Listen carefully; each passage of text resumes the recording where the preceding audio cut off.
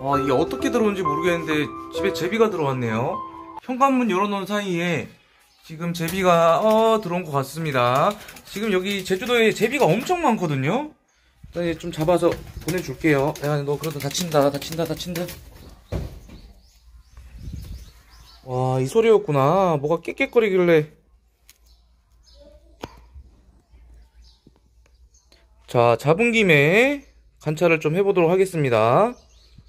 다리가 너무 연약해서 곧 부러질 것 같은 느낌이에요. 만졌다가. 자, 항문 쪽이 뽀송뽀송한 거 보니까 아주 건강에는 이상이 없는 친구고요.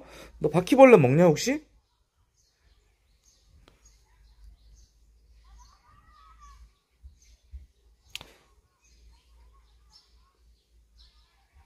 어, 모기다. 모기 먹어. 지금 제주도에 제비가 엄청 날아다니거든요. 도로가에 온천지가 제비입니다.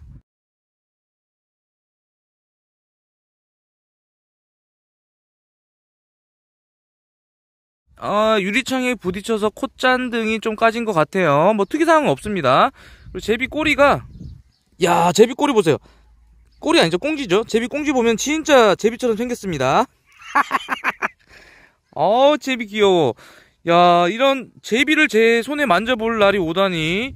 제비 주비긴 한데 얘가 뭐 집에 들어와서 주웠거든요. 빛깔이 곱습니다.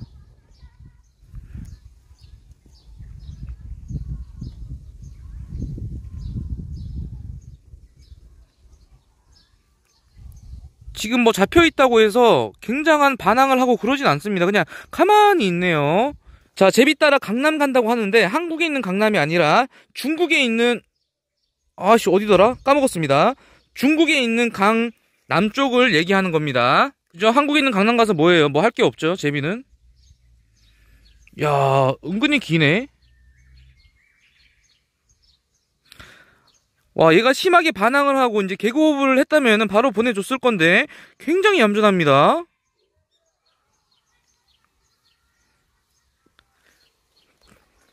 난 뭐 박씨 같은 건 필요 없다. 어. 자, 집 현관에 들어온 제비입니다. 보내주도록 할게요.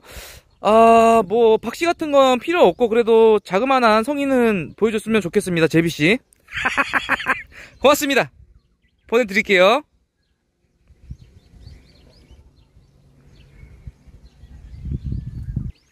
날아갈 수 있는데 아직까지 잡혀있다는 착각을 하고 있죠.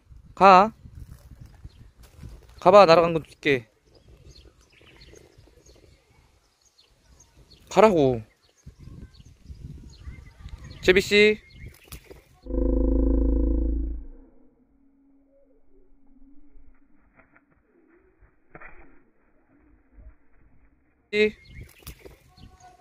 어디 갔냐? 겁나 빠르네.